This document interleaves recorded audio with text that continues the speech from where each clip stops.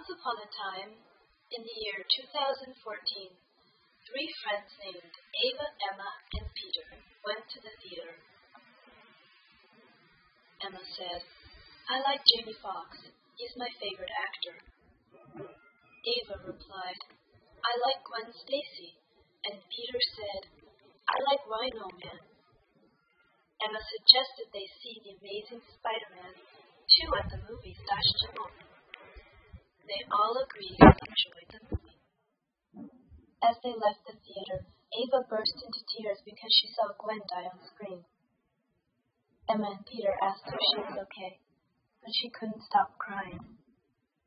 When they got home, Ava opened the door and let out a loud noise.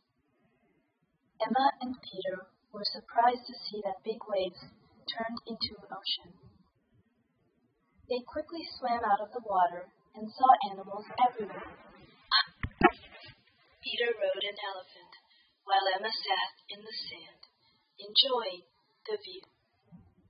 Suddenly, Ben and Chris appeared and asked who they were.